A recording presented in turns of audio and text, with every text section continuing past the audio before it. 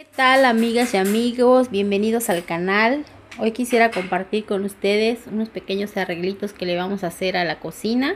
Como pueden ver, está todo hecho un desastre. Entonces, la primera idea que tengo es de este que era un portadiscos que lo pienso cortar o mi esposo lo va a cortar a la mitad para poderme hacer un especiero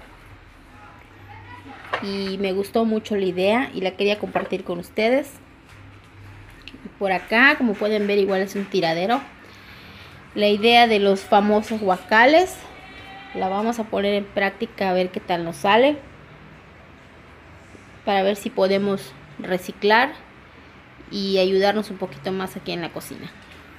Una idea se trata de reciclar este, este frutero muy muy antiguo eh, el cual es de 1998, es un recuerdo. Entonces quisiera pintarlo y darle un acabado dorado o cobre para poder poner como centro de mesa junto con estas frutitas que ya tengo aquí. Entonces, esta es la siguiente idea.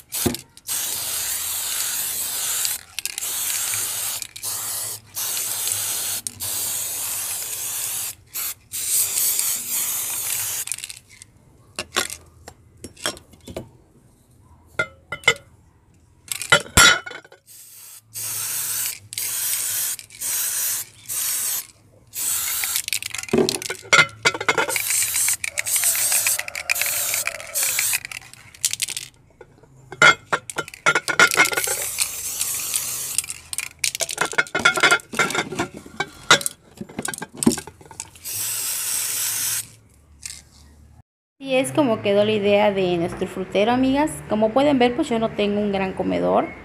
Aún estamos en eso para poder adquirirlo. Pero pues decora muy bonito y es un lindo detalle para nuestra mesita. Acá, amigas, tengo un espacio que está pues en desuso. Entonces quería yo ponerle estos decorados. Entonces aquí ya puse uno y ahorita estoy a punto de poner el otro porque aquí está la pecera. Pienso colgar unas plantitas o algo que la acomode mejor. Y así es como quedó este pequeño espacio amigas.